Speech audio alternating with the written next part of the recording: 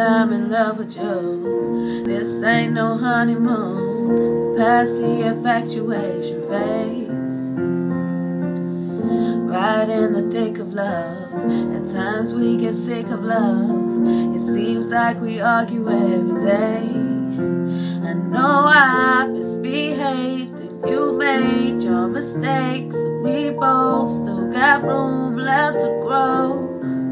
And though love Times hurts, I still put you first, and we'll make this thing work. But I think we should take it slow, cause we're just ordinary people. We don't know which way to go, cause we're ordinary people. Maybe we